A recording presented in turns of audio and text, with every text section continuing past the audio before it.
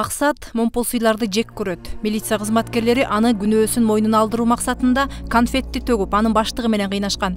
Ошол кезден бери ал конфет салынган баштык көрөрү менен денеси дүркүрөп коркуп кетчү болгон. Сол жак бетинен бир баары жоктон алып чыгып конфет бар экен ошону алып чыкты. Алып чыгып эле төктү. Анан мойнуңа аласың го деп эле эркекче айт деп элечи.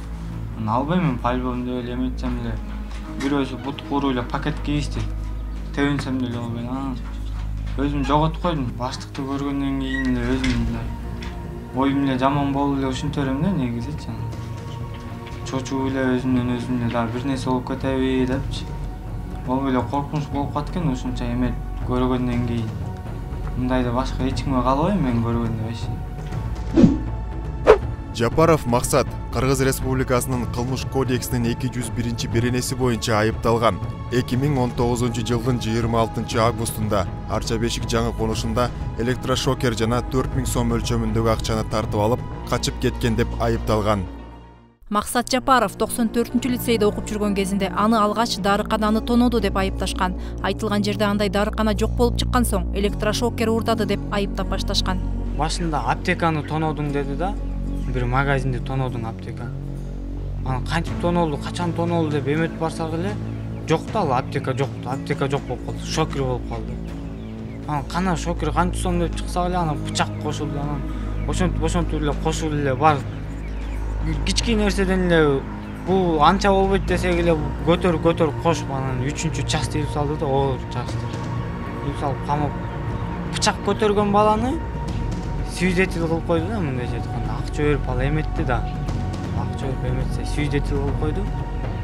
Жанында жүргөн баланы ал жөн эле эме кылып койду да көрсөтмө берет. Жанында жүргөн деп эле. Бирок ал күнү мен жок болчумун да. Жөн эле мойнума илип ар нерсени эметишип эле кыйнап эле тиякта жасабаган күнөөнү мойнуна коюу үчүн тергөөчүлөр катуу аракет кылган. Жапаровдун үйүн айланчыктап ар кандай далилдерди табууга аракеттенишкен. Адвокаттар айтты эме поставь кылат абайлагыла депчи анан биз акчасына көзүн карабай жыйырма миңге камера койдук. Андан мурун эме оперлер келип үйдү айланып жүрүптү да камера жокточу анан келип эшикке чыксам көрдүм да тиги коро жактан чыгышты да машина менен. Анан жолго чыкканда токтоготуң ким болот десем нурбектен ошентсем эле үйгө наглый кирип келди эле эчтеке кирип эле баламды сүйрөп чыгышты жерден алып машинага салып аракет кылчу ал салат анан барып чуркап чыгып эле тияк бияк соседтер келип жардам берип алып калдык жок барбайбыз дейм повестка жок эч жака барбайбыз жок повестка эмес жанагы кагазга гана көрсөткүлө все равно документти жок көрсөтөт жок мына момундай балаларга момундай иш апа мунучу апа оперлер карабайт муну следователь карайт следователь поручение берет оперлерге бар баланча баланы алып келгиле деп ошол да ошону айт эми следователь айткан жок да бизге чынбы силерге эле айт каяктан билесиз силер айтканын ошол күндөн көп өтпөй максат өзү барганда кармап калып кыйнап күнөөнү мойнуна ал деп опузалашкан тергөөчүгө экинчи жолу очный ставкага чыгарып атканда уруп майор да уруп ленинский сен кимкесиң сен эмес атамбаевди чыгарып атабыз сен эмне болуп калдың деп ошол жактан кыйнашып анан катуу бараткандан анан айтты эме деп мойнуңа ал сени жыйырма мүнөттө чыгарабыз деди да жыйырма мүнөт биякта сени отурбайбыз жыйырма секундта чыгарып коем деп сизого чейин келип эметип атты коркутуп байкеңди ойлой үйдөлөрүңдү ойло деп заявление жазган бала группалашы а группалашы ушу оперлер менен иштешкен деп коет экен го иштешкен бала экен. Ошо братишкамдын электрошокерин төрт миңин алып коюптур деп биз сусамырда жүрсөк а максат өзү көлдө болчу. Анан чоң балама келип айтып кетиптир келгиле кыргызча бүтүрөлү арызды жазбай эле коелу деп.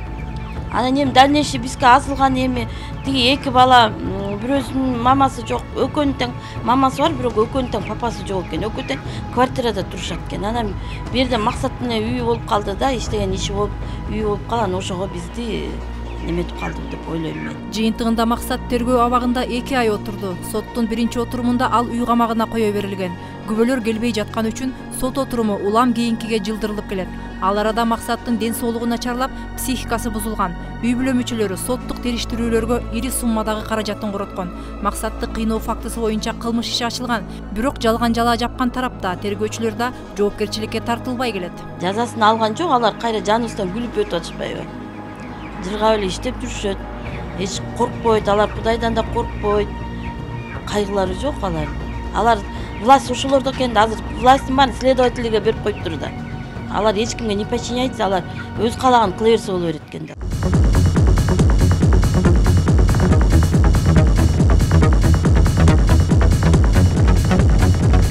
Сокулук районунун дагы бир тургуну александр тимонов уулу бейкүнөө жерден адам өлтүрүүгө айыптап соттолуп чыкканы менен келише албай келет. Эки миң онунчу жылдын он сегизинчи ноябрында анын уулуна рысбек бабашалин аттуу адамды өлтүрдү деп айып тагып камакка алышкан. Его обвинили в убийстве.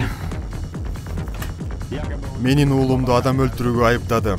Бабашалин рысбек деген адамды өлтүргөн имиш ошол кезде менин уулум бир кыз менен сүйлөшүп жүргөн. Ага чейин ал кыз бабашалин менен жолугуп жүрүп ал кызды зордуктап койгон имиш менин уулум аны билип кабар алганы барган имиш алар мушташып кетишиптир күбөлөрдү да жалган көрсөтмө берүүгө мажбурлашкан. Себеби бардык материалдарда ар түрдүү маалыматтарды беришкени көрүнүп турат. Тимоновдун уулун жасабаган кылмышын мойнуна алдыруу үчүн алдап чакырып алып кыйнашкан кирери менен дароо телефонун тартып алып уур тепкиге алып башташкан тергөөчүлөрдүн мындай мыйзамсыз аракетине апасы капысынан барып калып күбө болгонун айтат. Приехали туда, в РВД. Жубайым татьяна ровдга барып уулумду камаптырсыңар десе караманча таанып коюшуптур алар алаксып калганда жубайым экинчи кабатка көтөрүлгөндө кимдир бирөөнүн кыйкырганын кулагы чалат дароо уулумду тааныйт караңгы коридордо үн чыккан жакты эптеп таап барса бир эшик кынайып ачылып туруптур кирип барса уулумду көмкөрөөсүнөн басып алып колуна кишен салып башына желин башты кийгизип кыйнап жатышыптыр экөөсү эки бутун чоюп турушуптур башына чоң бөтөлкө менен ургулап жатыптыр жубайым эмне кылып жатасыңар? Бул менин уулум деп кыйкырып жиберсе бул уулум эмес кылмышкер деп айтыптыр бирөөсү убакыт өтө кеч болуп калгандыктан ал жака кимдир бирөө келет деп ойлошпосо керек чочуп кетишиптир бирөөсү жубайымды катуу түртүп жибергенде чалкасынан жыгылыптыр жыйынтыгында уулу он сегиз жылга кесилип кеткен. Анын бейкүнөө камалып кеткенин далилдеген документтер да күбөлөрдүн жаңылган учурлары да толтура бирок ал далилдерге эч бир орган көңүл бурган эмес кыйноо фактысы боюнча тимоновдор кайрылбаган жери калган жок бирок ушул күнгө чейин бир да тергөөчү жазасын алган эмес. Андан бери далай жыл өттү. Уулу абакка отуруп чыкты. Бирок тимонов бейкүнөө жерден түрмөгө отуруп чыккан уулун эстегенде ушул күнгө чейин тынч ала албай келет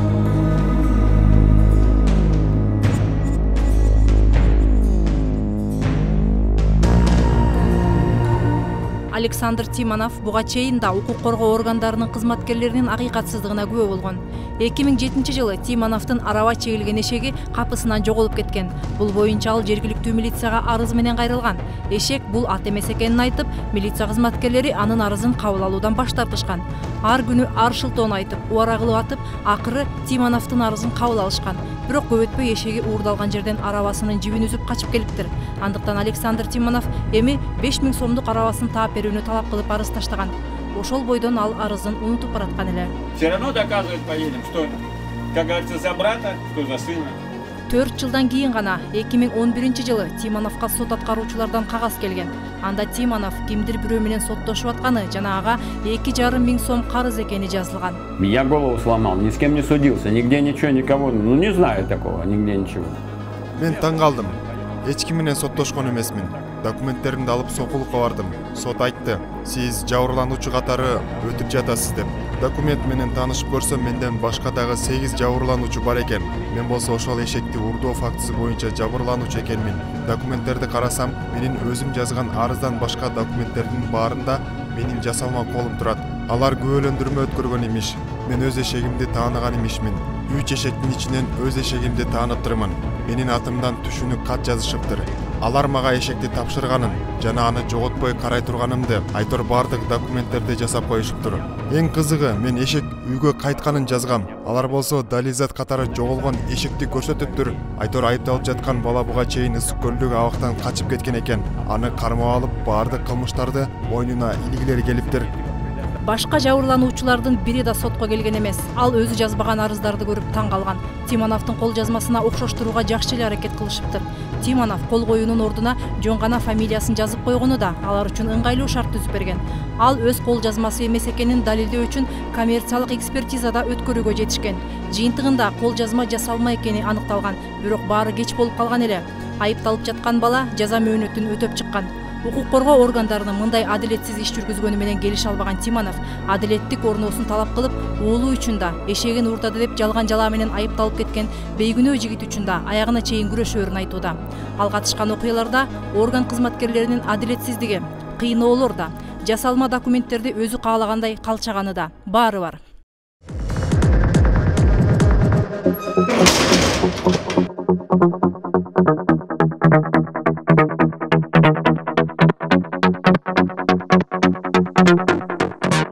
фактылары боюнча козголгон иштердин саны өскөн. Бирок тилекке каршы бул кылмыштар үчүн укук коргоо органдар кызматкерлери жоопкерчиликке тартылган учурлар аз. Эки миң он тогузунчу жылы прокуратурада кылмыштардын бирдиктүү реестрине кыйноолор боюнча үч жүз алтымыш алты арыз катталган. Бирок болгону он төрт кызматкерге карата он бир кылмыш козголгон. Ал эми кыйноодон жабыркагандар үчүн бул окуялар өмүр бою эсинен кеткис болуп калат. Айрымдары ден соолугунан ажырап психикалык оор травма алышат. Кээ бирки учурда кыйноолор болгон адамдар психикасы ушунчалык жабыркап жаракат алгандыктан кээ биркилери чымкоргонго даже жатып калган учурлар болгон да. Мисалы бир жигит болгон ал бизге кыйноолор боюнча реабилитацияга катышкан ал деген ошол жанында отурган жанагы абакта отурган бир случайды өзү айтып берген да биздин жаныбызда бала ушинтип аябай мен күнөөм жок эле бул жерге камалдым деп аябай жаман болуп жанагы психикалык травманын симптомдорун баарын айтып берип тиги жигит айтканда ошол бойдон ал баланы чымкоргонго алып кетишти голос свободы коомдук фондуна укук коргоо орган кызматкерлери тарабынан кыйноого кабылган адамдар абдан көп кайрылат. Алардын ар биринин окуясы жүрөктүн үчүн алат дешет. Алар кылмыш жоопкерчилигинен кутулуп чыккан күндө да эси көөнүнөн кеткис ошол күндөр өмүр бою көз алдынан кетпей жан дүйнөсүн кыйнаарын айтып беришкен. Маалыматтарга каражатка өзү статусун ачып чыккан бул мисалы бирөөсү наргиз ражабова деген. Анын эгер кейсин карасаңар абдан мындай ошо кыйноолорго дуушар болуп аткан учурда ал деген жанагы бөтөлкө менен даже зомбулук кылышкан үчүн ичиндеги жанагы алидейлерин жоготуп алган да выкидыш болуп ошол ошол случай абдан биз үчүн баарыбызга мындай эң оор болуп чыккан. Анткени чын эле эгиз балдар экен ошол балдарын жоготкон да андан тышкары өзүнүн баласына дагы жолдошуна дагы инисине дагы баардыгына бүт үй бүлөгө ошондой иштерди кылгандыктан баардыгы жабыркашып азыркы учурга деле азыркы учурда деле кээ биркилери ошо жанагы абакта отурушат. Соңку өкмөттүк эмес уюмдар тарабынан жүргүзүлгөн иш аракеттер жана сот реформасын жүргүзүүгө болгон аракеттердин жемишинен соңку мезгилде кыйноо фактылары азайганы байкалган. Бирок таптакыр жоюлуп кеткен жок. Андыктан бул багытта жасала турган иштер алдыда. Учурда өлкөдө кыйноолорго каршы күрөшүүнүн бир айлыгы өтүп жатат. жыйырма алтынчы июнга чейин өлкөдө ар кандай иш чаралар маалыматтык кампаниялар жүрүүдө. Мээрим ташыбекова кулмат мамбеталиев жетинчи канал.